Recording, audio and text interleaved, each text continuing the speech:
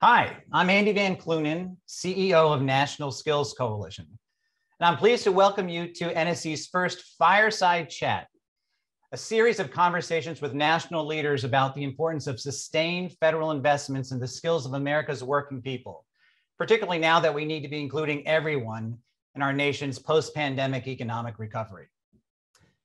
I'm truly honored to be joined for this first chat with Secretary of Labor and former, former Boston Mayor Marty Walsh. We're going to be talking about his efforts, both past and current, to fight for investments in skills training to help build equitable economic growth.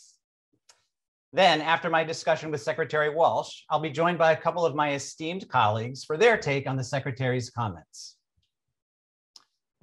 But before I jump in with Secretary Walsh, let me give you a word or two about National Skills Coalition. For the past two decades, NSC has been fighting for a new national commitment to inclusive, high quality skills training so that more working people in America might have access to a better life. And so more local businesses might see sustained growth within their rapidly changing industries. Last fall, in response to the pandemic, our coalition's leaders released Skills for an Inclusive Economic Recovery, a policy agenda to address the disproportionate impact of the COVID recession on workers of color, immigrants, women, and people without a college degree, as well as on our nation's local small and medium sized businesses. Since then, we've been working with tens of thousands of stakeholders to comprise our coalition, representing business, labor, community organizations, community colleges, and the public sector to fight for generation defining investments in high quality inclusive skills training so that it's part of our nation's economic recovery responses, both in Washington and out in the States. So I'm thrilled to have Secretary Walsh join me today to talk about what he saw as a mayor regarding the value of skills investments as a strategy for local economic prosperity, and about how he is now bringing that experience to his role as our nation's Secretary of Labor. Mr. Secretary, thanks so much for joining me today. Andy, thanks for having me today. I appreciate it and uh, look forward to the conversation. For sure. All right, so let's get right into it. So this is August. Most folks are on vacation, but you've been busy uh, and you've been out there a lot lately, including talking about how important it is that we think about investing in the American worker and American workers' skills as part of how it is that we're going to build this economy back. Could you talk to me a little bit about the $100 billion investment that President Biden called for in his Build Back Better plan? What does it aim to do, and why is it so necessary? No, it's true. Well, first and foremost, again, thank you for having me today. And this is a really important conversation. Uh, I've been traveling all over the country. I've hit 20 states now, probably in the last couple of months, uh, and talking to different people in different constituencies about where we are in the economy, where we are in the country, where we are in the pandemic, and you know, President Biden has stated this more than one time that uh, as, as America, we're at, we're at an inflection point in our history. Uh, workforce development is certainly at the heart of how we meet this moment. Uh, we look at our workforce uh, and what the workforce has been, been through over the last year. Uh, we look at the pace of changing technology. Uh, we look at the deep, longstanding challenges that are facing women, people of color, marginalized communities eh, all across America pre-pandemic and and obviously will be post-pandemic too if we don't do something different here. Uh, we, we, we, and we look at millions of good jobs uh, that we're going to create through the, the bipartisan infrastructure bill and what's been going on in our country. So it's clear that this country has never needed workforce training more than it does right now. Uh, this is a moment in history that depends on bold action, and it's what the president has proposed. As you mentioned, the president has proposed a Build Back Better agenda and called for $100 billion in proven it has to be proven workforce development programs targeted to workers, employers, and, and, and, and neighborhoods and communities all across the country that need it the most. Uh, in the Department of Labor, we're prepared to bring these investments to the American worker, and we're certainly laying down the, the foundation, the groundwork right now. Just a, a couple of quick points here. Uh, registered apprenticeships is one of them in industries like manufacturing, cybersecurity, and healthcare. I, I was in uh, Toledo, Ohio the other day uh, at a company uh, First Solar, who building um, solar um, solar solar modules, mm-hmm. and, and, quite on here in America, and really the, the, need for workers in that industry is going to be important. Uh, sector-based training uh, to help small and medium-sized businesses that have been hit hard by the pandemic, but uh, so we can help them access the talent they need. Uh, community college, uh, workforce training programs within the colleges. The, the college already there, the infrastructure is there, and now we can add to that uh, career and technical education programs in our high schools. I've heard that a lot. You know, people would say, when I was a kid, I, we had a program in there, and there's not enough that consistently across the country. And, and we can't forget uh, people who are involved in the juvenile uh, or the justice system, uh, returning citizens. So we need to make sure we have reentry opportunities. And uh, you know, we're ready to invest in, in our nation's workforce and, and to continue to put equity in our economy and move our economy for, forward. Uh, so we, we, need to offer not just some people the opportunity uh, for success, but we need to, the tools to, to make sure that everyone can, can access these jobs and these programs, these opportunities. So uh, that's kind of one of the things I think that are really important. This, this is a moment uh, in time for our workforce development that, that we can meet only if we work together. So uh, that's that's kind of a long answer to your question. Good answer. It's a good answer because it's important. It's not just that we're making bold investments, but we're making them in the things that we know work for, for businesses and for working people, registered apprenticeships, uh, sector-based training, all the things that you named. Like we're making smart investments in addition to making bold investments, and that seems to be really important. And as you said, we want to do in a way that it's including everybody in this economic recovery. Now, a lot of folks know that uh, prior to you taking this job in Washington, you were the mayor of the great city of Boston. Uh, what folks may not know is that job training was a big part of what you advocated for there as part of the equity and economic opportunity agenda in the city. You know, what did you learn about these issues there on the ground uh, in Boston and, and what is that teaching us about how important this has to be as we're bringing this conversation to, to DC?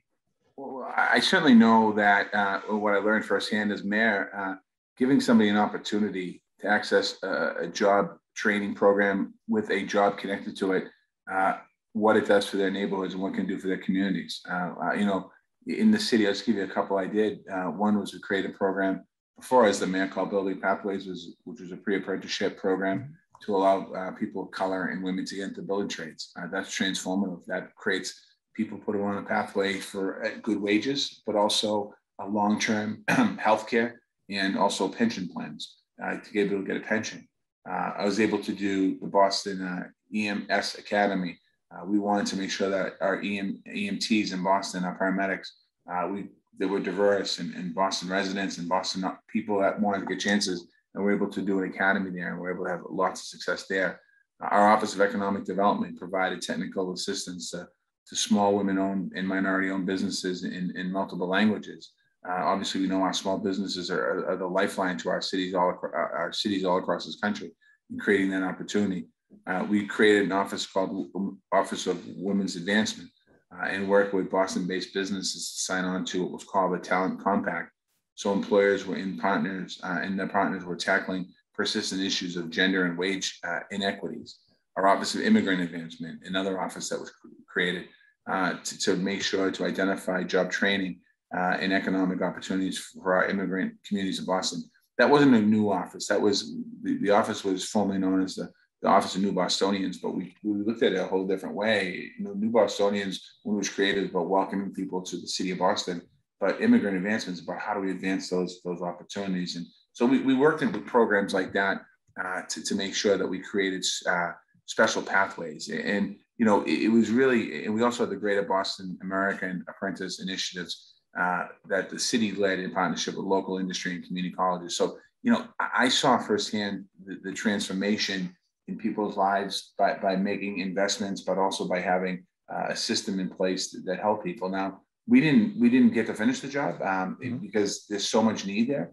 And when I think about when I think about the investments that President Biden is advocating for um, on a national level, I just think about being able to do that across the country in urban America and rural America, uh, you know, in, in, all across communities of color.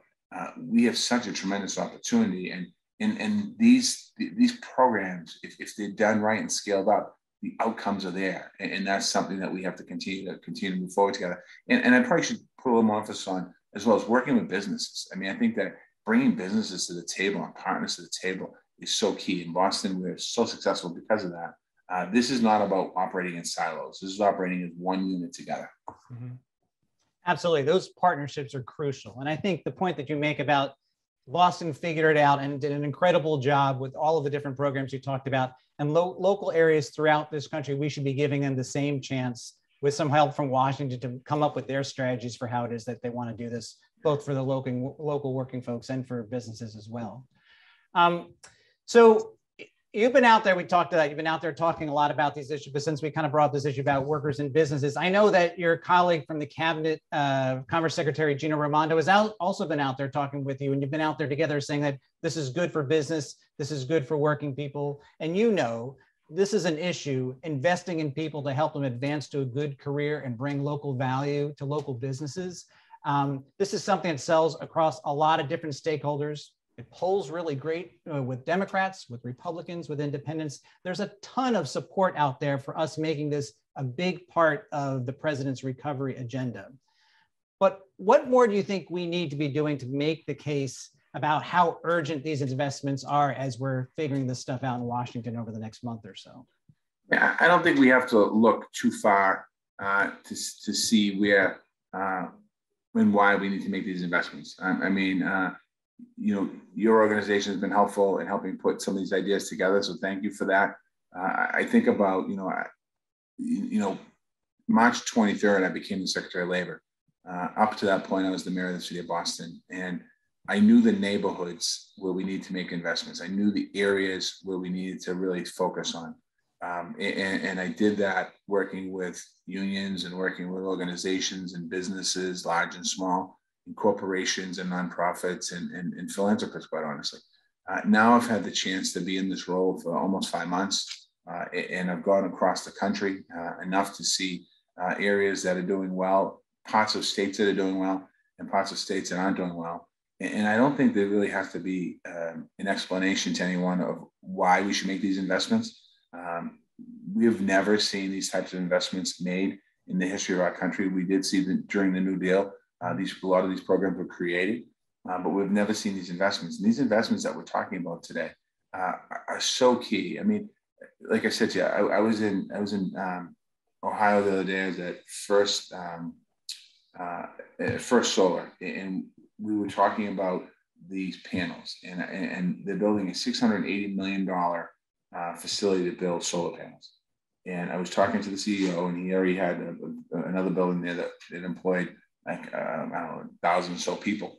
And, and I said to him, would it help you if we partner together to create a program, a pre-apprentice or, or a training program that would help teach the basics of manufacturing? And there was a Peloton plant that was open a little couple weeks ago, groundbreaking a couple weeks down ago before down the road in Ohio.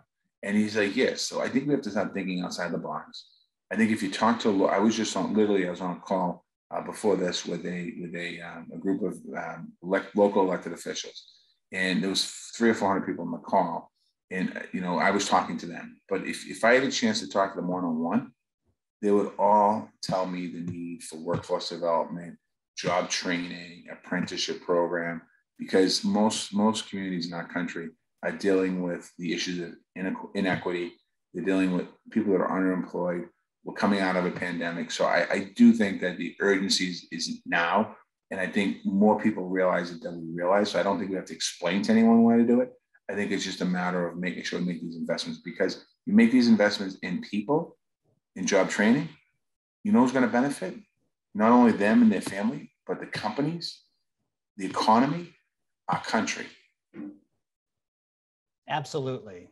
Um, well, Mr. Secretary, you know, National Skills Coalition, we're ready to work with you to help take that argument uh, to whoever need to talk to in Washington about these issues and all over the country. I just want to thank you for joining me today and for everything that you've been doing as a champion on these issues for us to really create those generation defining investments in high quality, inclusive skills training. So all those folks that have been most impacted by this pandemic, including workers of color, low wage workers, other folks who've lost jobs aren't coming back, that we're going to give them a chance to get into some of the skilled jobs that we're creating with other investments in the president's Build Back Better agenda. So thank you so much for all the work you've done. Thanks for being part of this conversation today and looking forward to working with you on it in the future. Thank you, Andy. Thank you. Uh, so now I want to get some reactions from some leaders on the front lines who've been advocating on these issues, both in Washington and out in the States for years. How is it that we can make high quality, inclusive skills training and education available to all of America's workers and businesses, particularly as part of this economic recovery? So let me introduce our panel. Uh, first, we have Brad Markell. He's the executive director of the AFL-CIO Industrial Unions Council and the Federation's Working for America Institute. Hey, Brad. Hi, Andy. Thanks for having me. Good to have you here. Uh, next, Allison Dembeck. She's Vice President of Education and Labor Advocacy at the U.S. Chamber of Commerce. Hey, Allison. Hi, Andy. Thanks for having me too. Thanks for joining. And Alex Camardelle. He's the Director of Workforce Policy at the Joint Center for Political and Economic Studies otherwise known as America's Black Think Tank. Alex, thanks for joining us. Happy to be here. Thanks for the invite. Great. Okay, so let's get into the discussion here. Alex, I'm going to start with you. So, you know, the secretary talked about the importance of investments in skills training if we want to make those workers most impacted by this pandemic, including workers of color, so that they have a chance for some equitable access to the jobs that we're hoping to create with this infrastructure package and with other things that we're investing in in DC at the federal level. The Joint Center, you've been a leader on this kind of issue. Um, what are your reflections on what you heard from the Secretary today? Thanks, Andy. And first, I just want to thank you, uh, NSC, and the Secretary for championing these investments. Uh, we believe they fundamentally modernize our nation's workforce system. Um, as you all know, workforce development funding for struggling workers has fallen to historic lows. And uh, the US was spending 25% less in workforce programming in, tw- in 2020 than we were before the Great Recession uh, more than a decade ago. And that chronic underinvestment in affordable and high quality education and training has made it more difficult for low income folks and people of color to navigate the labor market. So, everything the secretary shared is true in our view. And I particularly appreciate the concern about the evolving barriers that are facing workers of color. We share that concern at the Joint Center, specifically for Black workers who felt the brunt of this pandemic from all sides. Uh, it's crucial that we keep in mind the context that we're in from a race equity perspective, which historically has been ignored. The COVID 19 pandemic and the economic downturn was felt sharply by Black communities with higher rates of unemployment, hunger, housing insecurity, and infection rates disproportionately affecting Black households. These disparities stem from persistent patterns of anti Black racism embedded in this nation's healthcare, housing, education, policing, and economic laws. Um, however, COVID 19 did not initiate the disproportionate impact on Black communities, right? Um, we need to remember that even as this country was experiencing its lowest unemployment rate and longest period of economic expansion in recent history up until March 2020, um, Black communities fell further behind others in terms of wages, employment, and other measures of economic security. Today, even as unemployment rates are creeping back to pre pandemic levels, unemployment rates remain two to three times higher for Black workers compared to white workers. And so to build back better means we can't return to the pre pandemic status quo, but we're already starting to return to that with these stubborn gaps in employment. And now is not the time to hold back. Big investments in workforce training and job creation can help change that. The administration has a duty to address equity concerns by reversing that chronic underinvestment in the nation's workforce development system. And underinvestment, mind you, spans the lives of Black and Brown folks in early education, K through 12, and most notably for today in our post secondary opportunities. Black youth and young adults disproportionately live in states, particularly in the South, where there are little to no state general funds spent on skills training, and there's deep resistance to raising revenue to cover the costs of training.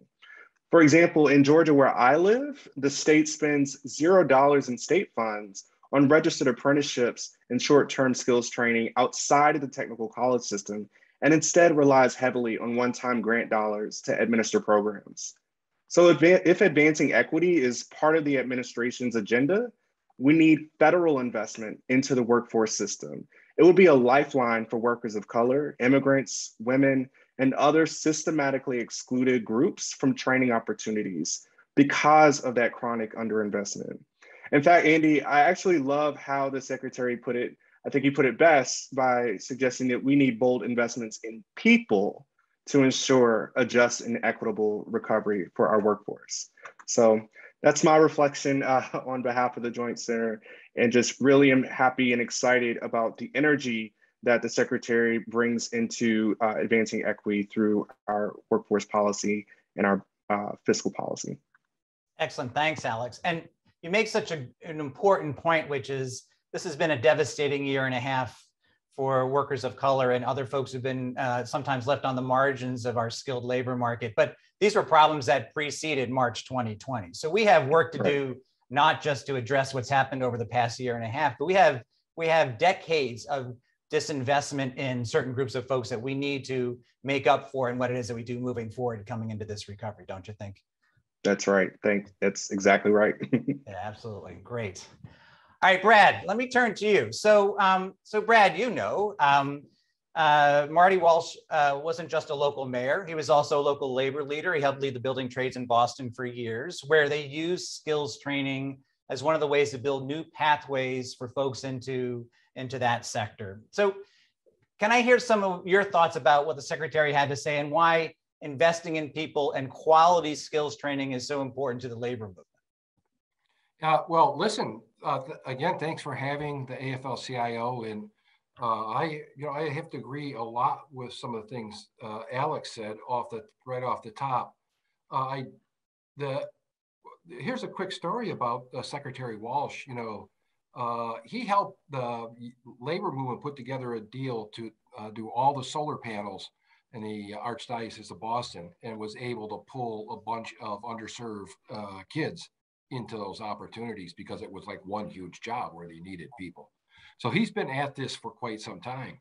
And, uh, you know, we're poised for a insanely large federal investment. Finally, I would say, and I do think, you know, employer uh, contributions have uh, into training have fallen. Uh, they're often skewed for management towards management um, and there's a lot of reasons for that, competitive reasons, and and and especially in manufacturing where I'm from, costs are very, very, very tight.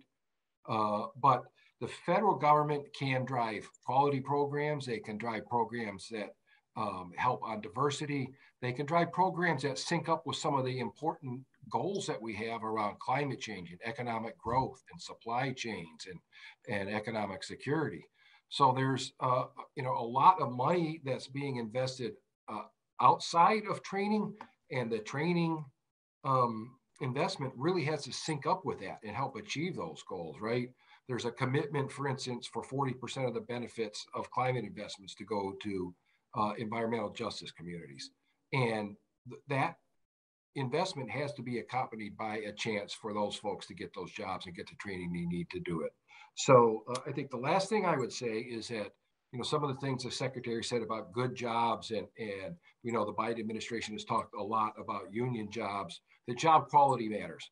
And it's really important if we're going to move people from lower paying, lower quality jobs to better jobs, then the workforce investment dollars have to skew toward that purpose. They have to skew towards higher paying jobs and not just sort of rotating investments in, in, in low road employers, but they also have to skew towards pulling disadvantaged people into those. You got to make the connection between the new hired paying job and, and the person who really needs it. So I think uh, Secretary Walsh is, you know, really understands this stuff from his gut, and we're very excited about uh, the opportunity to make these investments. Thanks, Brad. Yeah, this the idea about syncing up these investments. We can't be making investments in creating jobs, building bridges, building a new clean energy infrastructure if we're not going to make sure that folks have access to those jobs. The investing in the people part has to be going along with it. And I think, you know, we want to make sure, and I know that you uh, and your affiliates want to make sure that those two things are happening together when folks are making local decisions about how to use these federal dollars. But we got to make sure the dollars are in there first, for sure. So Allison, let me turn to you. Um, so, you know, Secretary Walsh, he talked about the needs of workers, but he talked a lot about the needs of business and industry as well. Um, and also how that's going to help not just uh, local firms, but it's going to help the overall economy. So I'm curious how much that resonates with things that you hear from business folks, from local chambers that you work with in the course of your day-to-day work.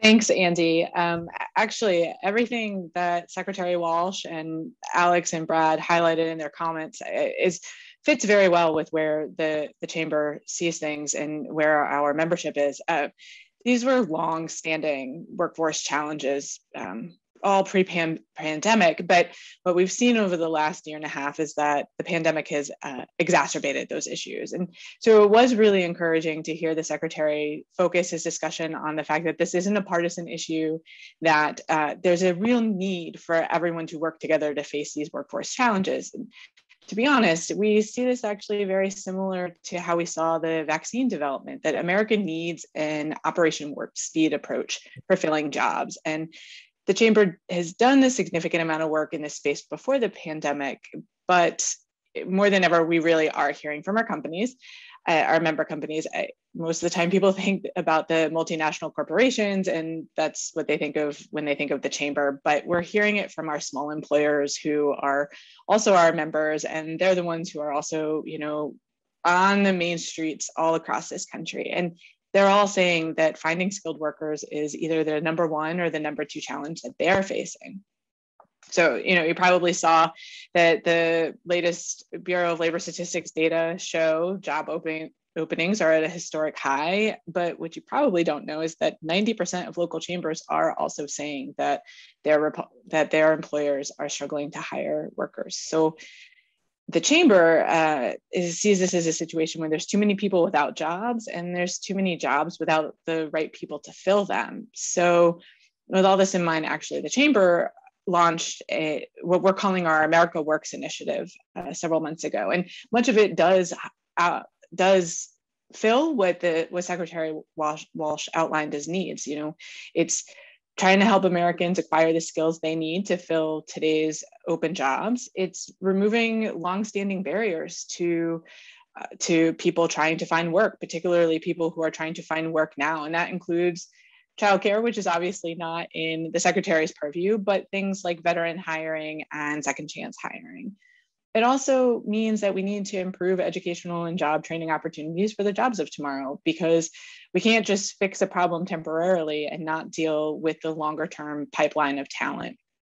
And then obviously there's also from the chamber's perspective, something the secretary didn't mention, but is kind of the fourth piece in this puzzle, and that's welcoming global talent through Im immigration reforms. Um, I'm obviously happy to go into more detail about any of those things, but maybe I'll leave it at the moment by just saying that some of these are things that employers can do on their own immediately. And we're trying to work with our local chambers and our member companies to, to do that. And that's through employer led programs like the US Chamber Foundation's Talent Pipeline Management Program, or by improving employers' uh, out of date data systems through programs like the Chamber's T3 Innovation Network and the Jobs Data Exchange.